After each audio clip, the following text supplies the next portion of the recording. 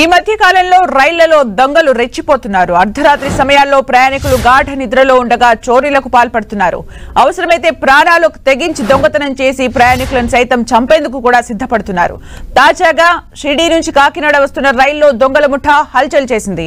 Shirdi Sainagar Kakinada port ట్రైన్లో దొంగలు బీభత్సం సృష్టించారు. కదులుతున్న రైల్లో కనురెప్పపాట్లు దాదాపు ముప్పై లక్షల రూపాయల విలువైన సొత్తును సర్దేశారు.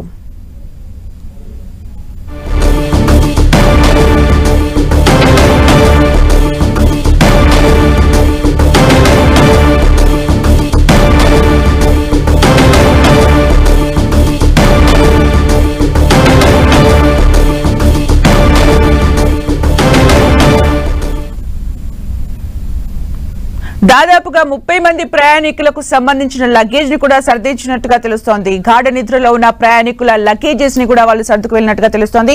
ప్రస్తుతం రైలు ఖమ్మం చేరుకుంది. అక్కడ పరిస్థితిని మా ప్రతినిధి సైదులు అందిస్తారు. సైదులు.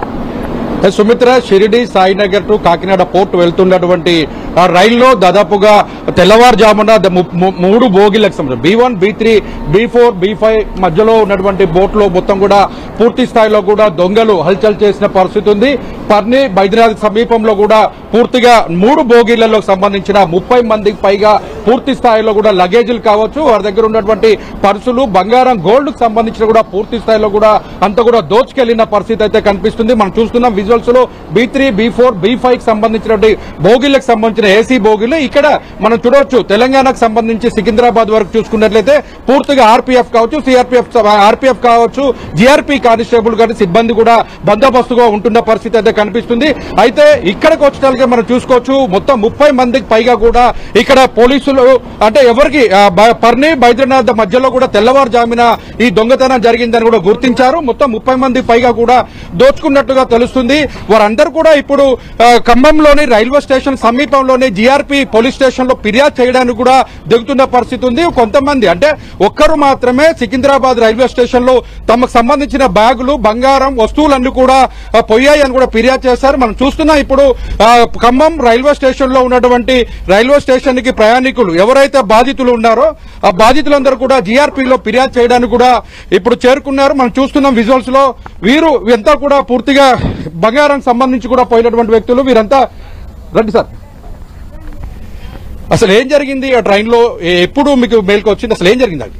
సిరిడి నుంచి కాకినాడ ఎక్స్ప్రెస్లో బయలుదేరాం మేము. మేము ఖమ్మంలో దిగాలి. మేము మధ్యాహ్నం మిడ్ నైట్ చదువు పది పదకొండు అయింది అప్పటికి టైము అన్నయ్య గారు మధ్య మధ్యరాత్రి రెండున్నర మూడు ఆ టైంలో లేచి చూస్తే హ్యాండ్ బ్యాగ్ లేదు. అప్పుడు చూసి మా వదిన గారి దగ్గరికి వెళ్ళి ఆమె తీసుకెళ్ళిందని అడిగితే వదిన గారు తీసుకెళ్ళలేదండి అప్పుడు వచ్చి మా చదువుతుంటే మేము చూసాము మా హ్యాండ్ బ్యాగ్ పోయింది. తర్వాత మా పక్కన వీళ్ళు మా బీ ఫైవ్లో ఉన్నారు వీళ్ళంతా. అలా తెలిసిందాం అబ్బా ఏం వస్తువులు పోయాయి మీరు? ఎప్పుడు గ్రహించారు ఇది? ఒకటి నక్క జరిగిందండి రెండింటికి చూసుకున్నాం. రెండింటికి చూసుకున్నామండి. బ్యాగ్ లే- హ్యాండ్ బ్యాగ్ లేదు. అందులో ఇంకో అన్ని ఉన్నాయి. పా- పాస్బుక్లు ఏటీఎం కార్డులు గోల్డ్ మనీ ఒక టెన్ థౌజండ్. డబ్బులు ఇంకేమైనా ఉన్నాయి దాంట్లో? గోల్డ్ ఉందండి. నూట పది గ్రాములు ఉంది. అబ్బా మీరు చెప్పండి అసలు ఏం పోయాయి? మీరు ఎప్పుడు గ్రహించారు? ఎంత నష్టం జరిగింది? ఎంత పోయింది? మేము రాత్రి నేను సాయంత్రం ఐదు గంటలకు బయలుదేరామండి. రాత్రి పదింటి దాకా వెళ్తూ ఉన్నాం. రాత్రి ఒకటి నుంచి రెండు మధ్యలో జరిగింది. నాది నేను రాత్రి పాయింట్ ఇప్పి నా జేబులో డబ్బులు పర్సులు అన్ని హ్యాండ్ బ్యాగ్లో పెట్టి వాచ్ ఫోను యాభై వేల రూపాయల ఫోన్ పోయింది ఇరవై వేల క్యాష్ పోయింది. తర్వాత ఆధార్ కార్డులు అవన్నీ సి బుక్లు అన్నీ పోయినాయి. మాతో పాటు ఇరవై మంది దాకా సుమారు బ్యాగులు పోయినాయి. కనీసం పది లక్షల పైనే రాబడి జరిగిందండి. కానీ అక్కడ పోలీసులు కానీ ఏం పట్టించుకోలేదు అక్కడ. అక్కడ బేదర బొమ్మన్నారు బేదర వాళ్ళే మరి హైదరాబాద్ బొమ్మన్నారు హైదరాబాద్ వాళ్ళే మరి మీ ఊళ్ళో కంప్లైంట్ ఇవ్వమని చెప్పారు. అక్కడ స్పందన లేదు అసలు వాళ్ళు. పోలీసు వ్యవస్థ కానీ సెక్యూరిటీ లేదు అసలు. మాకు భయం అవుతుంది. ఇప్పుడు యాత్ర చేయాలన్నా కూడా మాకు భయం అవుతుంది. చెప్పండి అమ్మా అసలు అక్కడ ఏం జరిగింది? ఏసీ రూములు అంటే పోలీస్ ఉండాలి కదండి. ఒక్క పోలీసు కూడా లేరండి అక్కడ. సెక్యూరిటీ లేదు ఏసీ అని తీసుకున్న సెక్యూరిటీ లేదండి. ముందు మాకు ఆధార్ కార్డులు మెయిన్ మెయిన్ కార్డులు ఫోన్లు పోయిన డబ్బులు అంటే ఎప్పుడు వస్తాయి? ఇవన్నీ పోతే ఎట్లండి మాకు సార్. అక్కడ సెక్యూరిటీ లేదు అసలుకి. బీద బీదలంటేనే వాళ్ళు ఆంధ్ర అంటారు అక్కడ అంటేనే వీళ్ళు అంటారు. వా- ఎవరికి వాళ్ళకి పొంతన లేదండి. ఎవరికి వాళ్ళు లాగించుకొని రావాలని చూ- అక్కడ దాకా దాటిన దాకా మాట్లాడుతున్నారండి. అది దాటాక మళ్ళీ వాళ్ళు అంటారు ఆ, కర్ణాటక అంట. కర్ణాటక తర్వాతనేమో ఆ, అదేంది? తెలంగాణ. తర్వాతనే ఖమ్మం అంటున్నారు. ఎవరికి వాళ్ళు దాటించుకుంటున్నారండి. కంప్లైంట్ లేదా సికింద్రాబాద్లో పోలీసులకు ఇచ్చారా? ఇట్లా చెప్పడమే ఇంకా వాళ్ళు. కంప్లైంట్ ఏం లేదు ఇంకా. రాసుకుంటున్నారులే కానీ ఇంకా మేము మమ్మల్ని అడిగితేనేమో ఎఫ్ఆర్ఐ రాయమంటే ట్రైన్ వచ్చేస్తుంది. ఆ, ఖమ్మంలో ఏమంటే మేము ఇప్పుడు ఇక్కడికి వచ్చామండి. ఇప్పుడు ఇక్కడ కంప్లైంట్ ఇవ్వడానికి వచ్చారా? మీది ఎక్కడ అసలుకి? ఇక్కడ ఖమ్మం అండి లోకల్ అండి. ఖమ్మం లోకల్. మేము షిరిడి నుంచి వస్తున్నాం. మధ్యలో నైట్ ఒకటిన్నర ఒకటిన్నర నుంచి రెండున్నర మధ్యలో జరిగిందండి ఇది. మొత్తం అందరు బ్యాగులు తీసుకుని వెళ్ళిపోయారు ఒకేసారి. తీసుకెళ్ళిన తర్వాత మేము అసలు మమ్మల్ని పట్టించుకున్నాడు. ఐదింటి దాకా మళ్ళీ మేము బేదరు వచ్చిన దాకా మమ్మల్ని కనీసం ఒక రెండు వచ్చి అడగటం కానీ ఏదన్నా ఇదేంటి ఏం జరిగిందని అడగటం కానీ లేదు.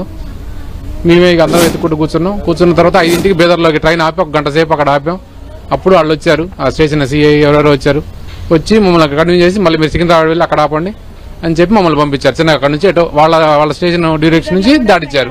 మళ్ళీ సికింద్రాబాద్ వస్తే సికింద్రాబాద్ అంతా ఆల్రెడీ వచ్చేసారు. పోలీసులు రెడీగా వచ్చి కూర్చొని ఎక్కువసేపు ఆపనికుండా అసలు ఆపాల్సిన టైం కూడా ఆపకుండా గబగబా మీరు వెళ్ళిపోండి మీరు అక్కడ పెట్టమే కంప్లైంట్ మేము చూసుకుంటామని చెప్పి పంపించేశారు.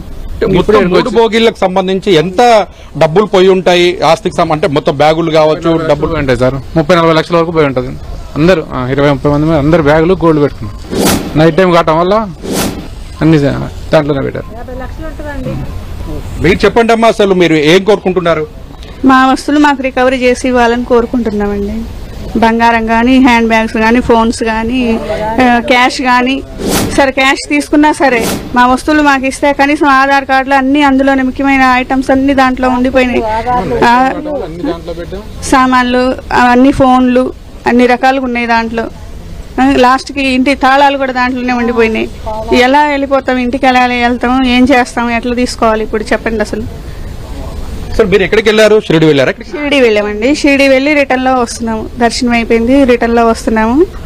మంచి ఒకటిన్నర రెండు ఆ టైంలో బాగా ఇచ్చేసారు మాది జగ్గపేట సార్ మాది. ఎన్టీఆర్ జిల్లా జగ్గపేట. ఇప్పుడు మీరు వెళ్ళడానికి డబ్బులు ఉన్నాయా? లేకపోతే ఇవి కూడా? ఇక మాకు తెలిసిన వాళ్ళని రిక్వెస్ట్ చేసుకున్నాం మేము. చూడొచ్చు. మొత్తంగా చూసుకున్నట్లయితే మొత్తంగా షిరిడి సాయి దాదుని దర్శించుకొని తిరిగి వస్తున్న క్రమంలో ఒకసారిగా ఆ పర్ని బైదనాథ్కి సంబంధించిన సమీపంలో పూర్తి స్థాయిలో కూడా మూడు బోగిలు B three B four B ఫైవ్లో మూడు బోగిల్లో కూడా దొంగలు చొరబడి మొత్తం బ్యాగులు బంగారానికి సంబంధించినటువంటి పూర్తి స్థాయిలో కూడా దోచుకెళ్ళారు. తమ దగ్గర కనీసం ఏమీ లేదు అని కూడా చెప్తున్నారు. అక్కడ అడిగితేనేమో మహారాష్ట్ర చెప్తున్నారు. మహారాష్ట్రలో అడిగితే సికింద్రాబాద్ సికింద్రాబాద్ అడిగితే ఖమ్మం వెళ్ళి కంప్లైంట్ చేయండి అని చెప్తున్నారు తప్ప ఎవరు తమకు సహకరించింది లేదని కూడా ఆవేదన వ్యక్తం చేస్తున్న పరిస్థితి ఉంది. తమకు న్యాయం చేయాలని కూడా కోరుతున్నారు డబ్బుల పైన పర్వాలేదు కానీ ఇంటి కాగితాలకు సంబంధించి కావచ్చు పాస్బుక్లు ఆధార్ కార్డులకు సంబంధించిన పూర్తి డాక్యుమెంటేషన్ ఏవైతుందో ఆ డాక్యుమెంటేషన్ అన్న ఇప్పించాలని కూడా వారు కోరుతున్న పరిస్థితి అయితే ఉంది. కుమార్ కొద్దిసేపట్లోనే ఈ జిఆర్పి పోలీస్ స్టేషన్కి సంబంధించిన దాంట్లో కూడా వీరందరూ కూడా ఫిర్యాదు చేయడానికి సిద్ధంగా ఉన్నారు. సుమిత్ర. థ్యాంక్